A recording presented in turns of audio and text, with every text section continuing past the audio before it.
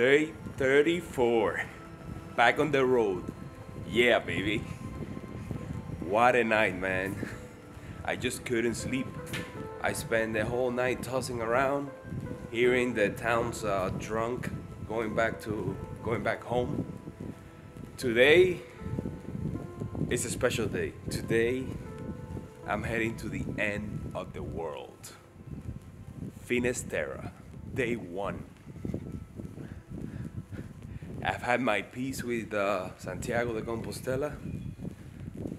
Most of the people that are that came along are going home. Only a few are going all the way to the end. This is where I made my triumphant entrance into the square.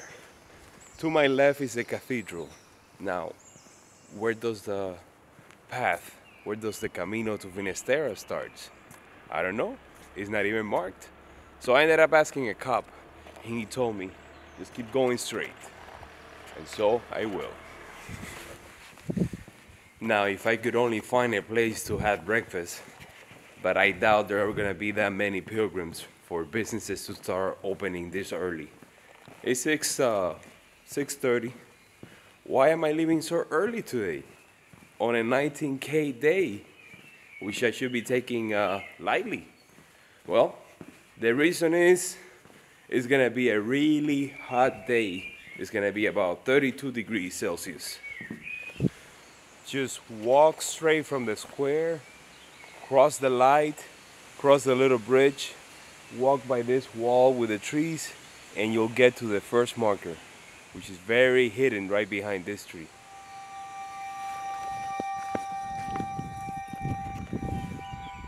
Now what? I think I'm lost. I mean, this the route is not even marked. I just saw that little arrow at the end by the tree. Now it's gone. Not even my uh, my eagle vision that I have developed over the last 30 some days is working right now. I don't think Santiago wants me to leave.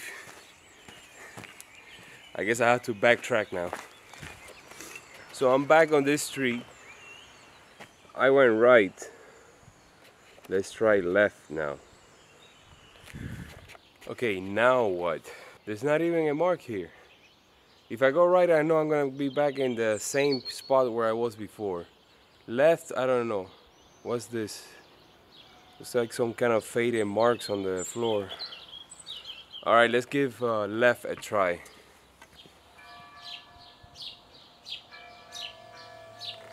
Okay, so maybe this is for the people coming back. So it's probably this way. This is full bar, man. I don't see anything. I'm backtracking my way to the street lights. I don't see anybody. I can't even ask a local. It's 7 a.m. on a Sunday. Everybody here's asleep. So uh, I'm gonna make my way back and see if I see another pilgrim or someone who can help me because I'm completely lost. I probably lost already close to an hour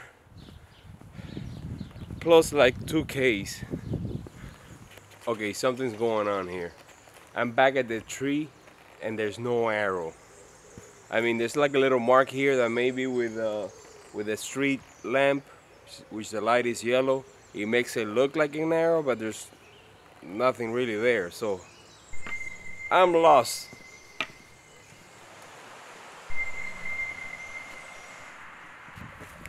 So here's what happened. Headed back to the intersection where the light was, bump into two, a couple from Australia. They had like a little map. We got lost again, went back to the intersection, and then we saw in the corner, there was a marker for an albergue. So we headed in that direction, and all of a sudden, all the markers started popping up. Day one. Let's do this. After the little morning fiasco, I head out of the city and into the much beloved countryside. At first, I noticed it was a lot quieter than days past. So it was 9:20. And the name of the game was finding something to eat. I didn't have breakfast, and my last real meal was yesterday at lunch when I had the, the Marisco feast. I had gone through a couple of towns already. My first impression, a lot quieter. There's a lot less people now than even on the first few days of El Camino Frances. But also there's less infrastructure, less bars and places like that. So I have my café con leche and napolitano at uh, Alto de Vento, which is a little town two hours away from Santiago. Do you know what I also did besides having breakfast? I left my walking stick. Yeah? Had to go back and get it. Not leaving you behind now, buddy. We're going all the way. Gonna burn you when I get to Finisterre. I need some tinder.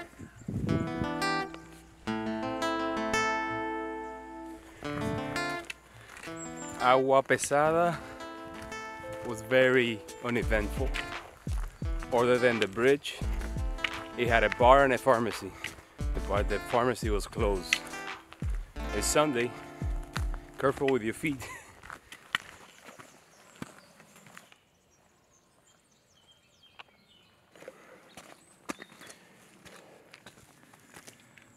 Doing a little uh, steep climb through the forest. Nothing that your body hasn't gotten used to it by now. Past the halfway point, I'm like five, six Ks away from uh, from my final destination for the day, unless something drastic happens. And after this morning, I don't think anything else should. Fingers crossed. Let's keep going. Right, a quick observation. I'm almost at the top of this hill, way past the halfway point, and I have not seen a single water fountain. Maybe I missed one, but it's not like before.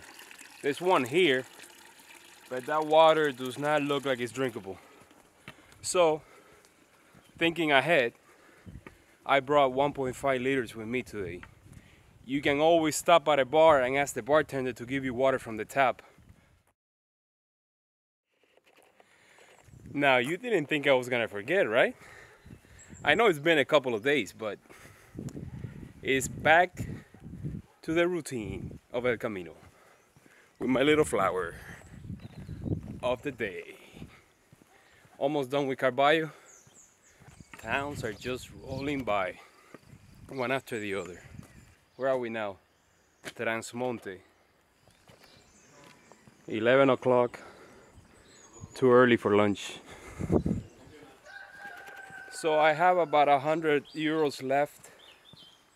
If my budget stays the same, about 30 a day on average, that's three days. I'm gonna be here about four. So that means that I'm short. And since I've noticed that the infrastructure here is not the same, I need to look for a bank. A mere 8 kilometers from Santiago is the charming village of Ponte Maceira. This magical place was quite a surprise as it came out of nowhere with its extraordinary architectural and natural beauty. This ancient bridge from which the village takes its name dates back to the 14th century. Much of the original medieval structure remains after the vast renovations that took place four centuries later. The bridge, with its five Gothic arches, is the site of a local legend. A tale of divine intervention when disciples of Santiago's were chased by a legion of Roman troops. Was that a beautiful bridge or what? It's been a while since I've seen one like that. Oh, what do we have here? A Cruceiro. Leaving Ponte Maceira takes me away from the road and onto moth-covered woodlands that seems to come out of nowhere following the Rio Tambre on its way to the Atlantic. I welcome the cool shade under the forest canopy, a brief escape from the scorching midday sun. God, I love the forest. And what do we have here? Another bridge.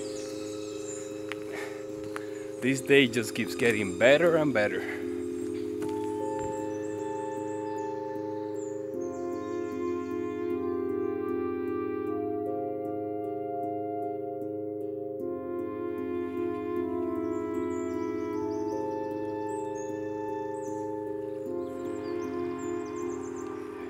All right, I'm gonna go for it.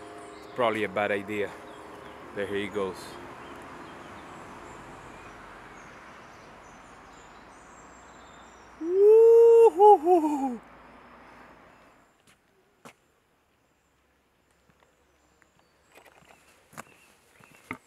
Going up a little hill.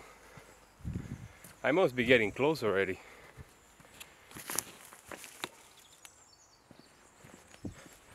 Finally made it to town. It is 12:30. I gotta stop waking up at 6. Especially for this leg of the trip. Now I could do something crazy and go an extra 5k to the next town. That would be 5Ks that I don't have to do tomorrow on a 27 kilometer day. But I don't know. I don't want to risk it. Let's see, let's see. Get Getting there.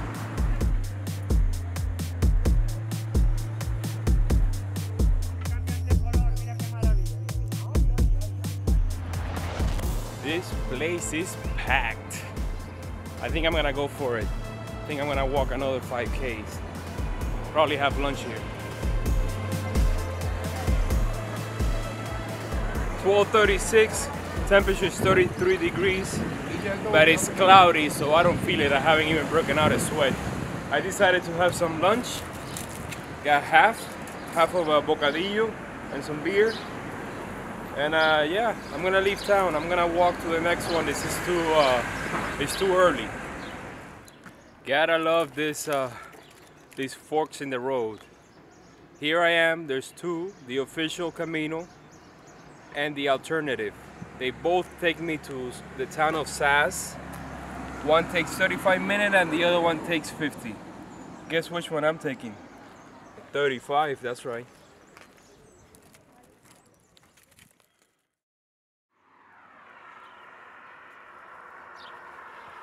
Had to get another flower.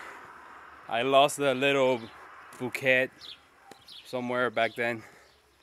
You should have seen the faces on the old timers at the bar when I was having lunch. They were like, What is this cowboy looking pilgrim with all the gear from the future?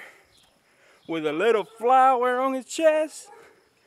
We don't like your kind around here, boy. Close to the municipal albergue just outside of town and next to the Cruceiro is a hidden Baroque jewel. La Iglesia Parroquial de San Juan with its simple facade and cross-shaped layout was built in 1799. That is a nice looking church. I wish it was open so I could get a stamp, but it's closed. What I'm gonna have is the other half of the sandwich because I'm still hungry. Actually, I'm starving.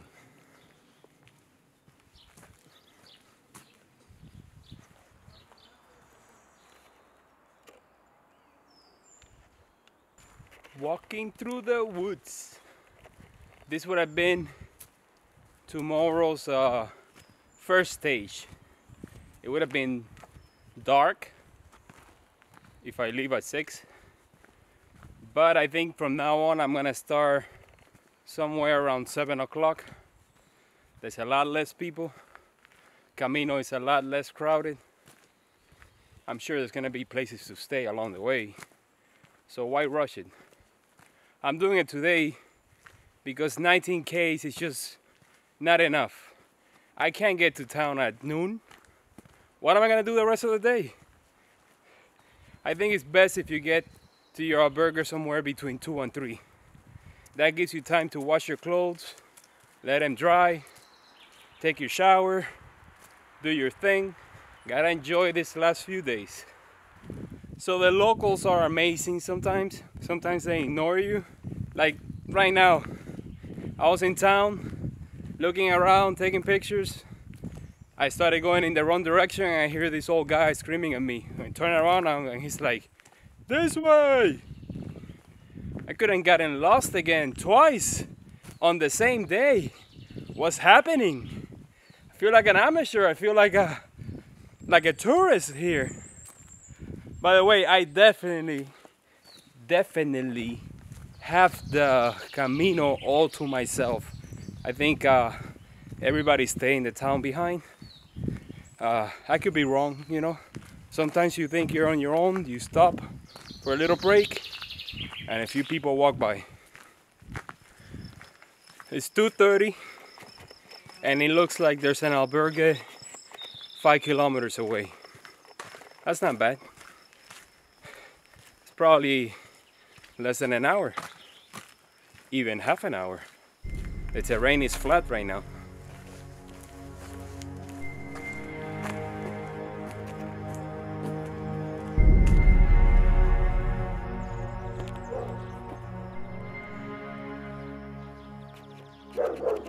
That is a little freaky? Don't you think? Crosses in the middle of the wood. So I have a choice to make. Just made it to Alto de Pena. There's an albergue about 100 meters that way. Or I can keep going 3.5 kilometers to Vilaserío and stay there. What should I do? What do you think I should do? Tell you something. I'm feeling great. Let's go for a walk. You know, that's the that's what's so great about having a rest day. Your body will thank you for it. Even though at the time I feel guilty about taking it, the day after, I'm flying low. I didn't even put Vaseline or tape on my feet today.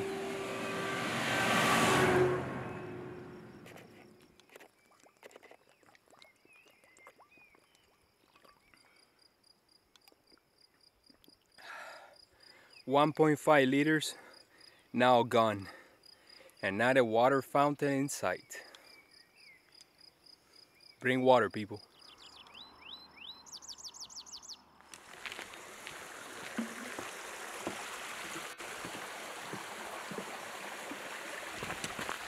Vilaserío is definitely an interesting town. It has a 10% off sale on every item in the stores.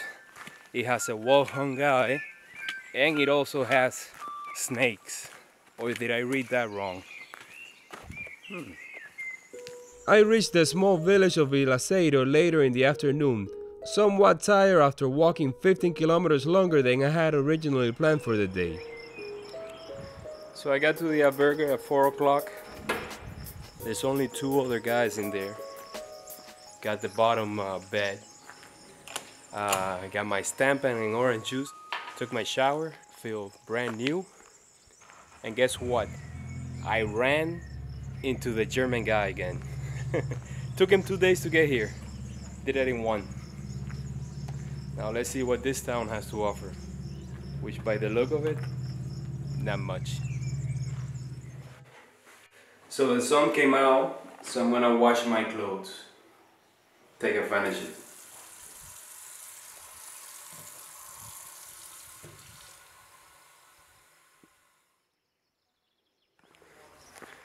Clothes are almost dried. I already have my dinner. I had uh, the mixed salad, glass of wine, and some coffee and milk. Now today I went a little overboard and uh, here's the proof. 34 kilometers to Santiago. That's what I walked today. Uh, I don't know, I was firing on all cylinders, my legs were doing fine. I didn't feel anything until like the last few kilometers and that's because I was walking on asphalt on the street. Uh, it kind of feels like I'm in overtime. Yesterday and the day before at Santiago felt like the end of the trip. And now, if I keep this pace, I'll reach uh, Finisterre in the next couple of days. It's, uh, it's time to uh, call it a night. See you guys tomorrow. Another day in el camino. One day less.